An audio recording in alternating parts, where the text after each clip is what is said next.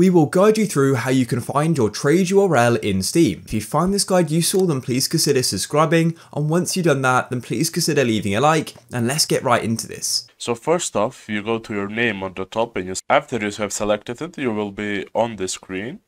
Then you press the inventory button, go into trade offers at the top right, select that, go into who can send me trade offers, select that as well. Now that you have selected that, at the bottom you will find a section called third party sites. This is your trade URL. You select it, you press right click and copy it, and after you send it out in the public, if you want to stop receiving trade offers on that link, you just press the create new URL button, then select and confirm it, and as you can see we have created a new URL.